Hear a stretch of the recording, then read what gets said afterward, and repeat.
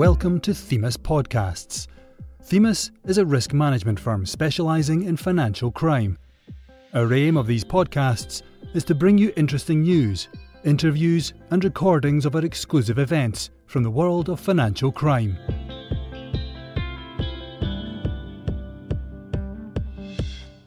Pandora Papers, an interview with ICIJ senior investigative journalist Will Fitzgibbon. In our latest podcast, Elizabeth Humphrey, financial crime researcher at Themis, speaks to Will Fitzgibbon, senior investigative journalist at the International Consortium of Investigative Journalists, the ICIJ, regarding the recently released Pandora Papers, the largest leak of offshore data in history. Will discusses his inside insights on the evolving story and its implications for the fight against financial crime. Welcome, Will. It is fantastic to have the opportunity to speak with you today to get your unique inside perspective on the Pandora Papers. Will Fitzgibbon is a senior journalist at the International Consortium of Investigative Journalists and is the ICIJ's Africa and Middle East Partnership Coordinator. In 2015, he led a major Pan African investigation into the abuses of the Australian mining industry on the African continent and has since been involved in the Panama, Paradise, and most recently, the Pandora Papers. With this rich background and jurisdictional focus on the Middle East and Africa, areas uh, in which Themis focuses heavily, Will can offer us unique insights on this emerging story, the largest release of offshore financial activity in world history. So, just to give us some background, the Pandora Papers, is a groundbreaking collaboration to expose offshore financial dealings of the world's richest of an unprecedented size.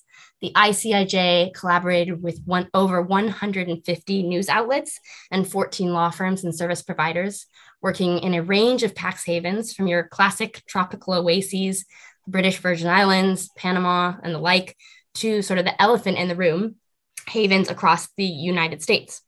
The papers disclose offshore financial activities pertaining to over 35 current and former world leaders, over 300 officials from 117 countries, presenting devastating findings beyond the scope of previous similar publications, such as the uh, Pan- Panama Papers.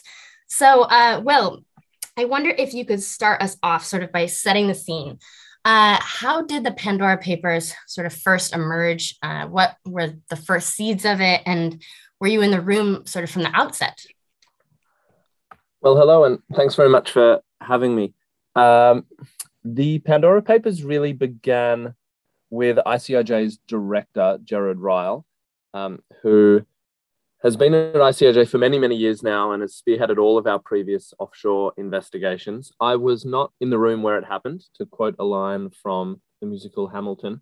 Um, so I don't know exactly how the first set of documents came to ICIJ, but they were received over time, right? This is not something where magically Gerard Ryle or any journalist woke up at 7.30 in the morning and all of a sudden had 12 million documents um, on a computer somewhere. That's not how any real investigation works. And the Pandora Papers were really a drip, drip, drip of files over almost two years. Um, and I think that's important contextually because these kind of investigations aren't just data dumps. Sometimes you see the Pandora Papers referred to as such in media or in roundup sort of descriptions of what the project is. But this is hard work. Getting this information is hard work, let alone the two years that hundreds of reporters spent trying to work out what the heck it all means. Yeah, absolutely. And yeah, just to get a sense of that, are you were you aware from the outset uh, given the sort of drip drip nature of these things that the pandora papers were sort of going to end up presenting a historic project that surpassed the scope of previous projects uh, of a similar nature you know the panama papers and, and and the like which we we we did speak previously to um, gerard about in july a great conversation. Uh, but yeah i would be really interested to know your perspective from the outset about the scope of of the project well, there are a few things that interested us from the beginning. First of all, was the diverse nature of the source material. As you mentioned, the Pandora Papers is different in that it's not just leaked records from one offshore service provider, but from 14 offshore service providers. And why that's important and interesting is that it gives us an insight into different jurisdictions and also different client bases. You know, the people who are setting up shell companies in the Seychelles or in Hong Kong or in South Dakota are probably going to be different in terms of background, wealth, um, and activity from those who are using Panama or the British Virgin Islands. So that was important. We also really wanted to see how the offshore industry had changed. You know, the Panama Papers was five, six years ago now, and governments made all kinds of promises.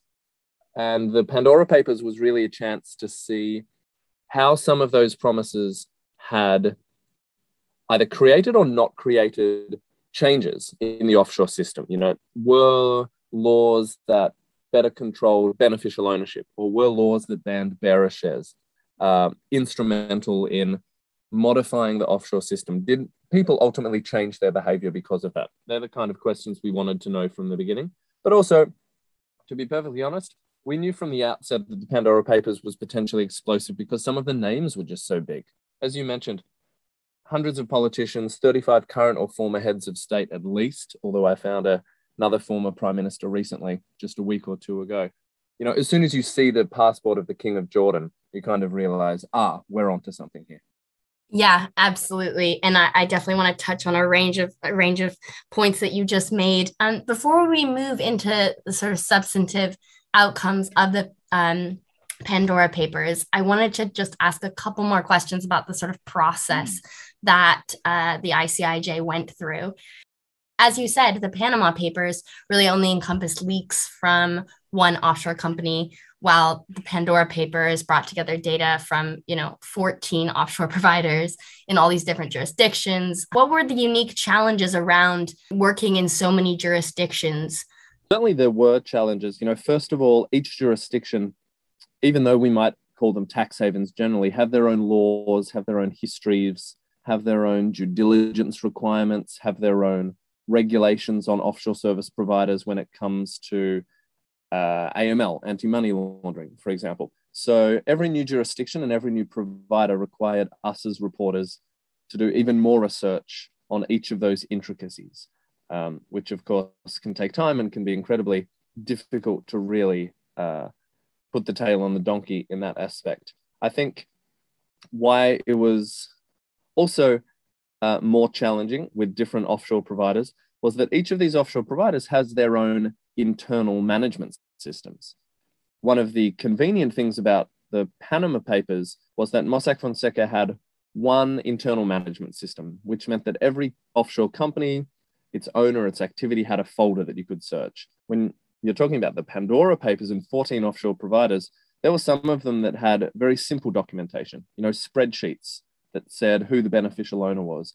Other offshore providers didn't have that. Journalists had to go digitally rummaging through thousands or tens of thousands of records to connect A to B, which was something that took journalists a long time. And of course, it made the data journalism aspect of this project even more challenging than previously.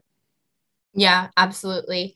And I guess related to data uh, and the many challenges that it presents, particularly given uh, sort of their unprecedented scope and extended research timeline, did you ever have concerns ahead of the release that the project would be leaked?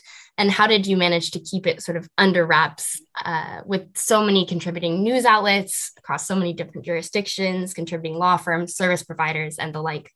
Oh, absolutely being an employee of ICIJ and being responsible to, for a collaboration of this nature is basically every day to wake up with a cold sweat, wondering who or what has let slip news of the Pandora Papers in advance. Trust me, that just happens every morning. Thankfully, it didn't happen. And I think that's not just due to blind luck. You know, ICIJ and its partners could publish the Pandora Papers because we'd done it a number of times before, albeit on a smaller scale you know, I think collaboration is such a buzzword now in so many industries, but let's not forget that a successful collaboration like the Pandora Papers requires experience, it requires control, and it requires trust. The good thing about this project was that all of the journalists involved really were part of the ICIJ network previously. And that meant that we could trust one another. And trust me, you do not want to be the one journalist out of 600 journalists who screws everything up. And I think that, that helps us in part. To move on to some of the more substantive results that came out of the Panama Papers, it'd be great to get a sense of some of what you see as the most shocking investigative findings. Um, and of course, this is still an evolving story with new stories coming out all the time just because of the sheer quantity of data. Um, but yeah, it would be great to hear some of the highlights in your perspective as the investigation continues to unravel. Well, I think one of the great things about these kind of investigations is that impact and important stories are everywhere. You know, the reporter in Argentina has a very different perspective on the impact and importance of Pandora Papers from a reporter in Indonesia, for example. So, all that is to say, my perspective is going to be very different from other perspectives. You know, this morning, as I'm talking to, there was news in Chile that overnight the parliament there voted uh, on an impeachment motion of the president there as a result of the Pandora Papers investigation. So that's obviously huge. Um, you know, I focused a lot on uh, reporting on uh, heads of state in Kenya and Jordan in particular, revealing really for the first time the secretive offshore hideaways of these two world leaders who have really tried to build a public image as transparency advocates. And I think that was one of the shocking and for some people uh, maddening revelations from the Pandora Papers was that, sure, we all know that kleptocrats and criminals in general love the secrecy of the offshore system. But the Pandora Papers really shone a light on politicians who otherwise try and present a very different image the image of people who are in favor of transparency, fight against corruption. And the Pandora Papers showed, you know, in the case of the King of Jordan, a $106 million secret property empire with glorious luxury mansions overlooking the coast of California that had never been declared before, never acknowledged uh, to his people let alone to any of the international donors who give Jordan over a billion dollars in foreign aid each year. So I think they were significant. You know, I also really spent a lot of my time in the Pandora Papers working on the US angle. Because something that really excited me about this project was that for the first time, the Pandora Papers included leaked records from inside a significant offshore operation within the United States. That is, uh, a trust company and a corporate service provider with an office in South Dakota and we could see really for the first time en masse the kinds of clients who were setting companies and trusts up there. Um, those were of particular interest uh, for me throughout the reporting of this project. At this point, I want to take a quick pause to briefly talk about Themis. Themis helps clients and members identify and manage their specific financial crime risks through a combination of innovation, insight, and intelligence. Our cutting edge platform helps organizations understand these strategic threats through an ESG and socioeconomic lens and protects their customers, staff, suppliers, and shareholders from criminal attacks or association. Visit our website at www.crime.financial to find out more. So, discussing a bit more in depth your uh, findings on on the King of Jordan, on the you know Kenyan president Kenyatta, these real uh, world leaders who have long emphasized anti-corruption efforts at the heart of you know their government priorities, and yet this recent leak seems to undermine that um, on a personal level. I would just flag others, including Ecuadorian President Guillermo Lasso, the current Prime Minister of Lebanon, his predecessor Hassan Diab all these leaders sort of from quite struggling economies during co- the covid-19 pandemic uh, coming out of the woodwork as uh, as part of these findings. What how do you see this impacting uh, the political landscape in terms of stability? Look i'm not naive and obviously in many of those cases you just mentioned uh, we're not going to immediately or even in the long term see uh, visible concrete impact. You know, no one expects the King of Jordan, who uh, is a sovereign who has complete control over a country, who oversees a widely feared security state apparatus. No one expects him to resign tomorrow because of the Pandora Papers. The same in Kenya. The president actually, would you believe it, has actually said publicly that the Pandora Papers is lies, despite the fact that his name literally appears in one of the documents from the leaked records.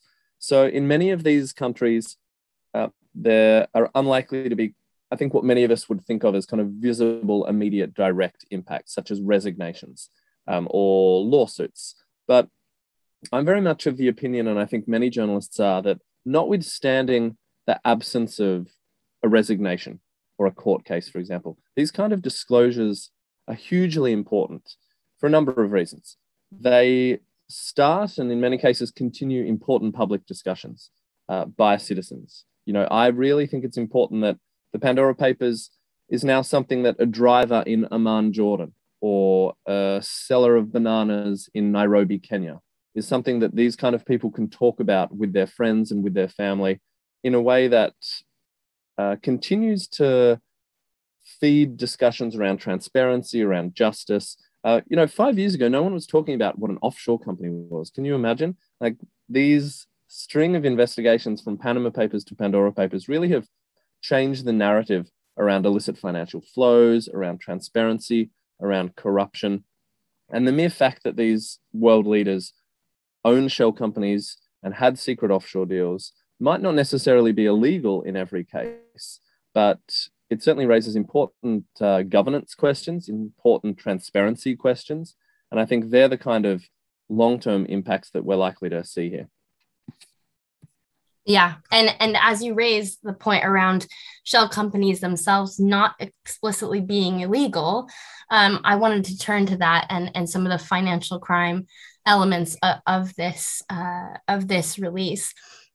As as we say, shell companies can in fact serve some some quite legitimate uh, purposes, particularly for those sort of functioning in politically or financially high risk jurisdictions. Um, that said, uh, many of these prominent figures who've been flagged in the Pandora Papers have been very quick to sort of turn to this to argue that their use of offshore shells is fully legal. Um, do you see that a risk in sort of the legitimate reasons for the use of offshore mechanisms uh, being used as a narrative to cover over financial crime? And I guess more broadly, have you seen the Pandora Papers bringing to light any particular cases of sort of traffickers, fraudsters, and criminals hiding behind and concealing their money in offshore structures?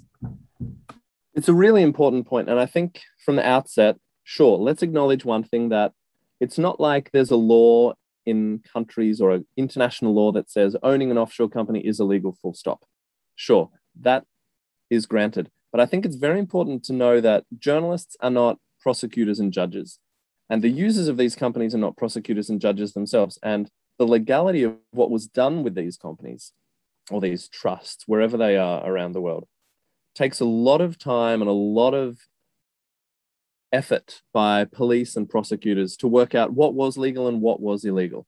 I've worked on these kind of topics for six or seven years now, and it always amazes me how it takes years for the truth of these scenarios to come out. So when a politician says nothing was illegal here, that's actually not their call to make, is it? That's the call of judges or prosecutors who we already know in many countries.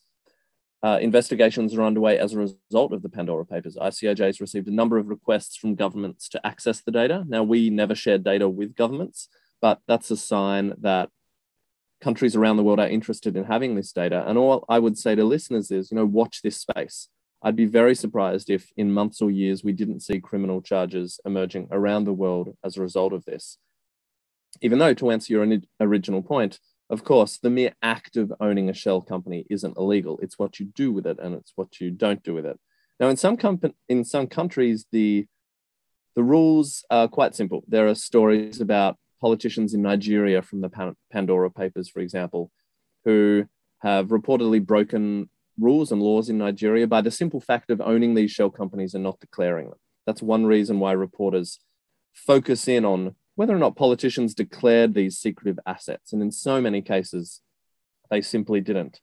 But you know, the Pandora Papers also really speaks to a whole range of criminals. We're talking about alleged members of the mafia. We're talking about people who've been convicted of bribery and corruption around the world. Uh, we're talking about, for example, in one case that my colleagues at ICIJ wrote about, a uh, very well known dealer in ancient antiquities from Cambodia. And just yesterday, the United States uh, government uh, released an indictment uh, concerning that uh, art dealer, who is now deceased. Mm. But he appears and his family appears in the Pandora Papers with a whole range of trusts and shell companies that many experts believe were kind of central to the obscuring process that allowed him to, uh, at least according to US prop, uh, prosecutors, trade in illicit antiquities for decades and decades. So there definitely are shades of grey. There are outright criminals in the Pandora Papers, and then there are uh, those people who it might take us six months or even six years to have a true um, a true sense of whether or not what they were doing with their shell company was licit or not. Yeah, it certainly presents challenges that will continue to be debated for many years, I'm sure.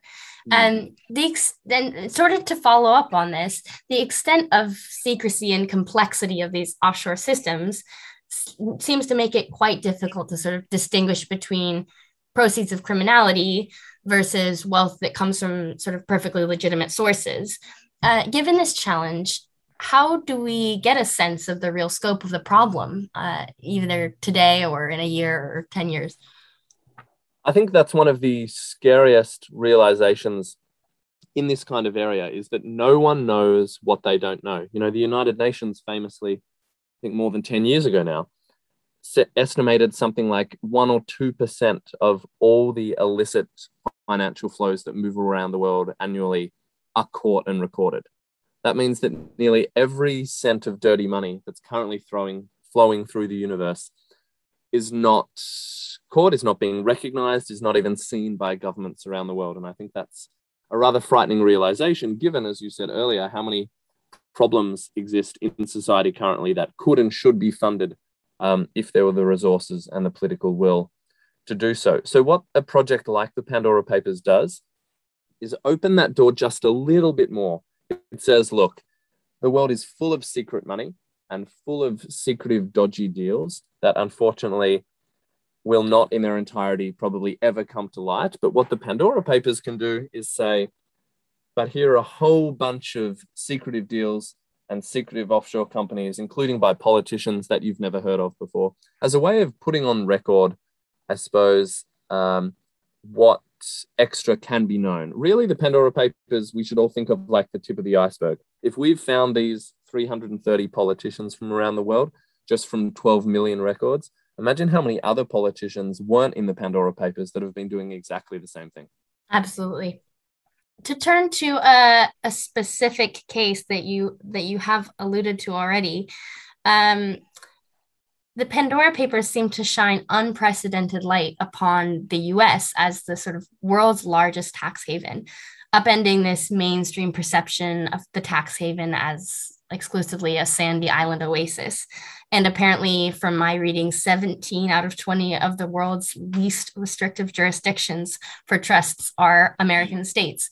It would be great to hear your initial thoughts on that. Yeah, that's exactly right. Um, very early on, I was excited by the opportunity in the Pandora Papers to tell a new story about the United States. That's because one of the 14 service providers whose leaked records we had, Trident Trust Company, has an office in South Dakota. And as a result, we had a number of files from that South Dakota office of Trident Trust Company. And this was important because in the nerdy literature of the offshore world, anyone who's paid attention has heard rumors that the US is a major tax haven states like Delaware, Nevada, Alaska, New Hampshire, South Dakota, uh, Tennessee, even have been known to, over the past you know, de- few decades or so, to have introduced laws that have increased corporate secrecy uh, and, of course, been very uh, attractive for people who wanted to pay as little tax as possible. But what was important about the Pandora Papers was that we were finally able to move from the world of rumor to the world of the concrete. That is, we could say, here finally are the names of some of the people who've been moving their assets to the United States. And in particular, here are some of the people setting up trusts in South Dakota, none of which had ever been disclosed before. And this included the president of Ecuador, the former vice president of the Dominican Republic, you know, a Brazilian billionaire, an Argentinian millionaire, uh, sorry, a Colombian millionaire who many years ago had been named in a US forfeiture action uh, that was part of a uh, money laundering and drug trafficking scheme. So, as I'm researching the Pandora Papers and seeing all these names related to the United States, it was quite exciting because we were finally able to say or have the opportunity to tell a story about how, why, and who was using the US as an offshore system. And it was all quite recently. I think what was interesting with the Pandora Papers was many of the cases we saw involved individuals who, for example, had a trust in Jersey or the British Virgin Islands, classic tax havens, were moving or transferring their offshore structures to South Dakota and to the United States, really in the most recent time period, past four or five years. And I think that's significant. Absolutely. And a slew of reforms have been announced in response to the Panama Papers, perhaps most notably from the US. Uh, they've released, our Congress has released a the so-called Enablers Act, which uh, calls for more stringent due diligence among all players, not just banks involved in facilitating offshore investment. So, in my mind, this is a sort of deja vu to reforms announced after Panama, and for that matter, since the Patriot Act. Um, will do you think there will be a real change this time around from the U.S.? And I guess, do you see this uh, set of stories propelling other changes in favor of transparency on a on a more global scale? Well, it was pretty remarkable that the Enablers Act came out so quickly as a bill in the United States as it did. Now, in past investigations, the United States really, in my experience, has been notably silent on uh, many of these findings. So clearly, the Pandora Papers hit home with a certain American policy audience, which I think is promising and to be welcomed. You know, the loopholes identified in the Enablers Act are things that experts on financial crime uh, experts have been shouting about from the rooftops for years. So that's promising. You know, will it pass? That's a huge question. You know, the offshore industry survives in part because it's used by very powerful people and it also makes a lot of money for very powerful people. You know, lawyers, trust companies, uh, real estate agents, art dealers, for example. So the reforms that the Enablers Act identifies are by no means locked in, but it's certainly a good start.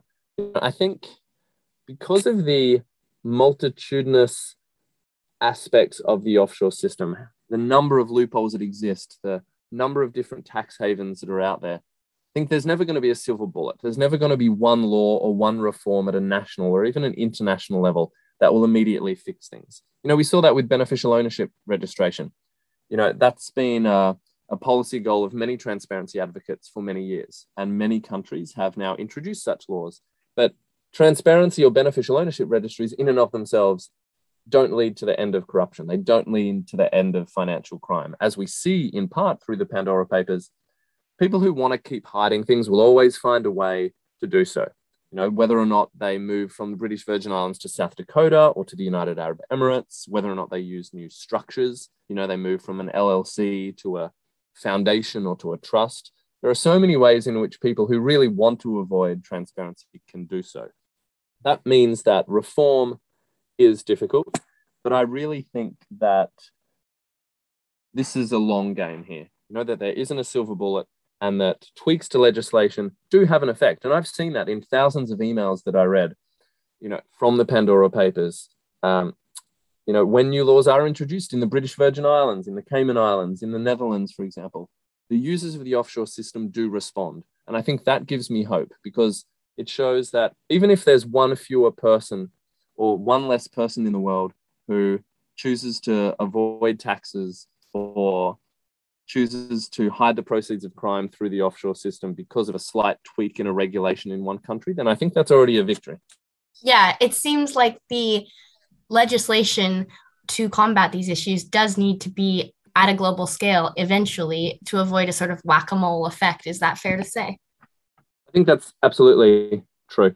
We've seen time and time again how reforms in one country uh, can really just become a boon to another country. And so I think you're right. I think a global solution, at least according to experts we speak to, would be would, would be preferable. That's why many advocates talk about the United Nations being or becoming or taking on a greater role in terms of transparency and international tax matters, because that's an institution and a platform that represents all countries, not just the interests, say, of developed countries like the OECD to turn back to the US just for another minute, um, the new regulation, as we've discussed, uh, the Enablers Act, does increase pressure on a range of stakeholders law firms, accountants, real estate companies, trust fund providers, and the like. Um, we can see them all as those who sort of oil the wheels of secrecy.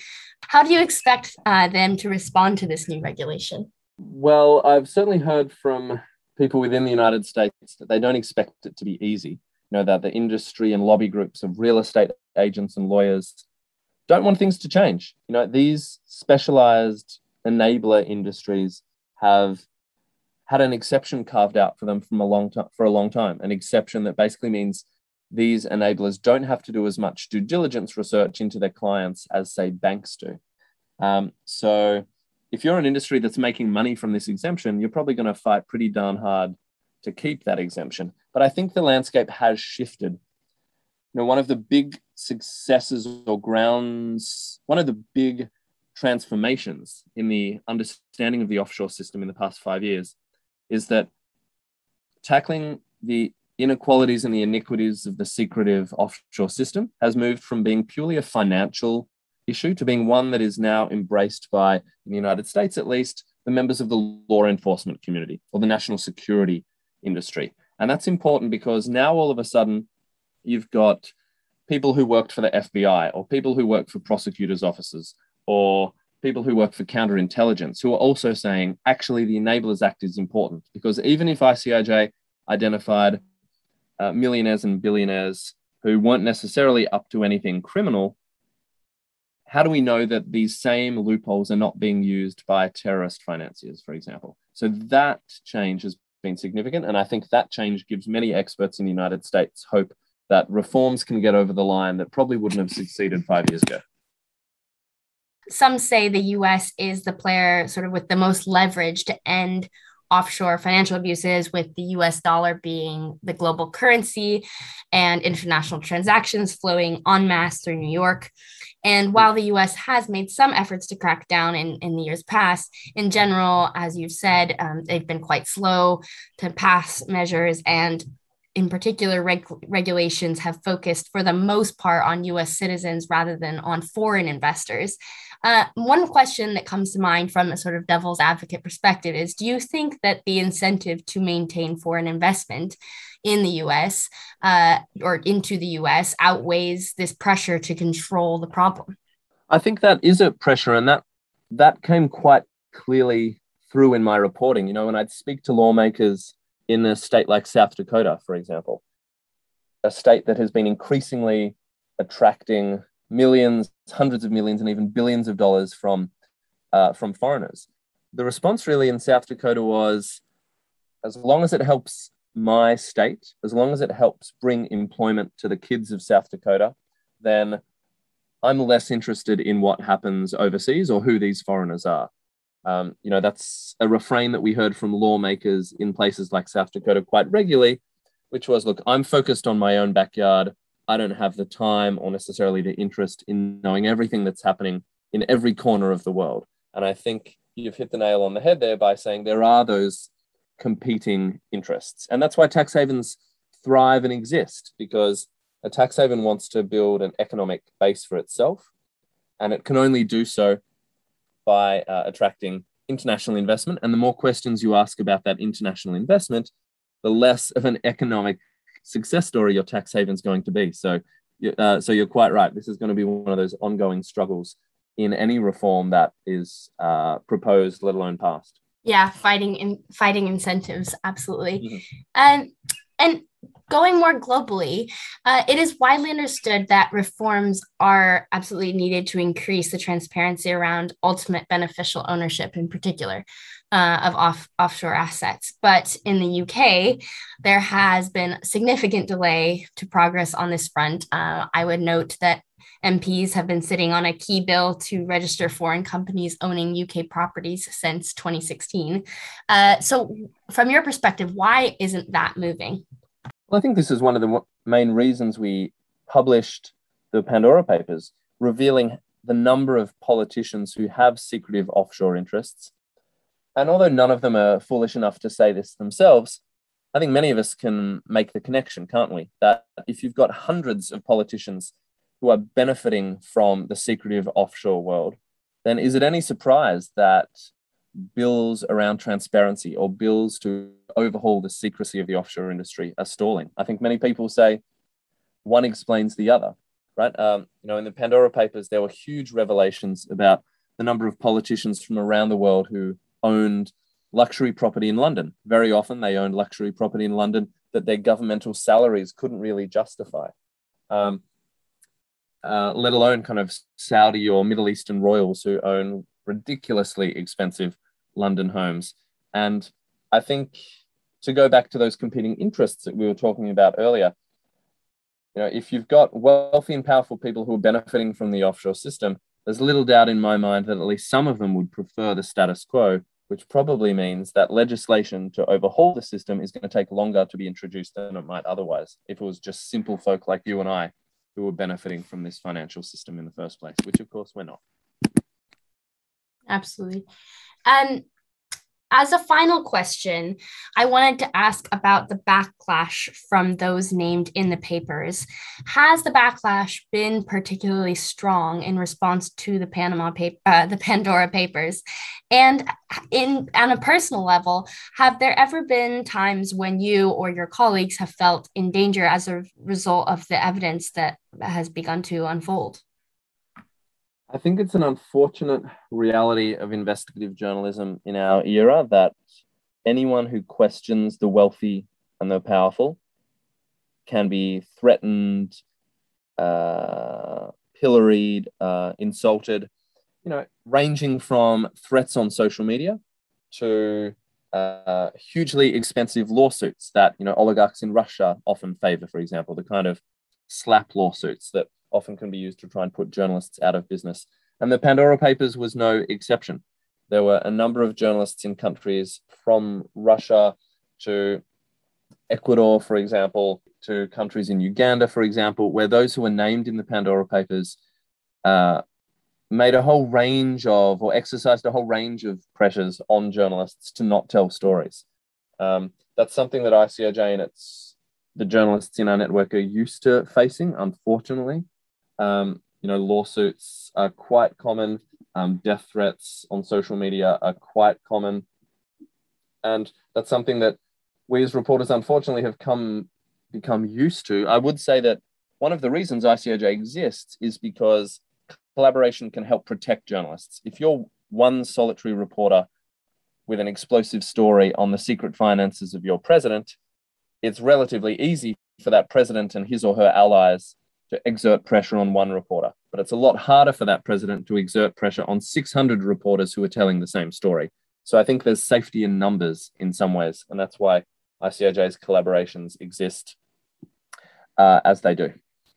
Yeah, I was going to ask uh, as a follow up question if you could speak to how the journalistic community can respond to these this pushback i suppose that you you just have in a way responded um, to that question emphasizing the importance of uh, a collaborative mentality and approach to journalism. Are there any other ways that we can respond and, and beyond just the journalistic community um, uh, all of us how can all of us respond? I think a really important way that everyone can respond to something like the pandora papers is First of all, to acknowledge its legitimacy and its accuracy. One of the incredibly scary consequences or impacts of the Pandora Papers has been the way in which many politicians, despite me literally seeing their passport, have said, This is fake news. This doesn't exist. And I think that's incredibly problematic because once politicians start saying that facts are lies, then all kinds of horrifying things can happen. So I think members of the public can participate in the ongoing repercussions of Pandora Papers by believing in it, by reading the stories, by having conversations with people around them and saying, you know what, even though the president of Kenya said his name wasn't in the Pandora Papers, it definitely was. Um, you know, making sure that the rich and the powerful uh, don't succeed in their narrative that seeks to undermine journalism. You know, journalism needs to be supported so that it can keep doing what it does, I think. And part of that support is reading the stories of Pandora Papers. It's donating to non-profit newsrooms who participated in it. It's calling out or supporting journalists when they come under threat. Um, I think all of those things are going to be ongoing responses that people around the world, no matter where they live and no matter how much money they have, can do in order to keep the fires of the Pandora Papers burning. Will, thank you so much for joining us today. It has been a fantastic conversation. It was a pleasure speaking with you, and we hope we can maintain this conversation as more and more findings come out around this pivotal piece of investigative journalism. I look forward to it. Thank you for the invitation. Thank you, Will. Thank you for listening to the latest Themis podcast. We hope you found it interesting and informative. If you would like to find out more about Themis, get in touch with us via our website www.crime.financial. You can also subscribe for future news and interviews.